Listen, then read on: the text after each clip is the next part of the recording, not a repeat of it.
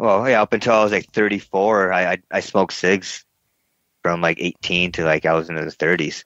Really? You know? Yeah. I was uh you know a pack a day. We have uh, the camel ferries, and you know they'd come around at the bar and they'd give you a, a little ticket, and you go up to the bar and pay a dollar for a pack of cigarettes, you know, and like had you know smoked and you know drank all the time. If I wasn't riding, that's what I was doing, you know, that and chasing women. And it wasn't it wasn't until getting ready to go to Colorado that's when I started putting you know the fitness aspect first, and that's you know I stopped smoking and You know, I always thought that it kind of sounded dramatic when I'd say like how elk hunting had changed my life or like my direction on things, but it, it is like it can like because it is a very difficult endeavor, and I and I had always worked out and I always liked doing that and everything, but like it really gave me discipline on a whole nother level, and because I wanted that success so bad,